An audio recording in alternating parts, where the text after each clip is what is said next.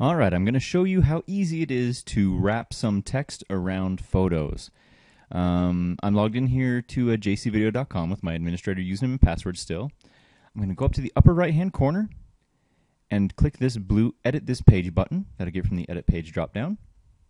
That's going to turn the page into edit mode. And this is the picture right here that I'm going to want the text to wrap around to the side on. So I'm going to hover over my pencil button and click Edit Content to get to the text editor. As soon as I'm in here, I can definitely see my picture and the text that I want to wrap around it. All you've got to do is right click or control click on your Mac, the picture, and choose Properties. Inside of Properties, there's a section here for image alignment. For this picture, I want to align it left. So I'm going to choose left. I'm going to click OK.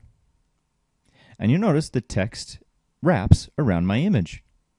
Now let's align it right just to see what that would look like. There we go. So I, however, want some extra space between my text and my picture so it doesn't go straight up to the edge.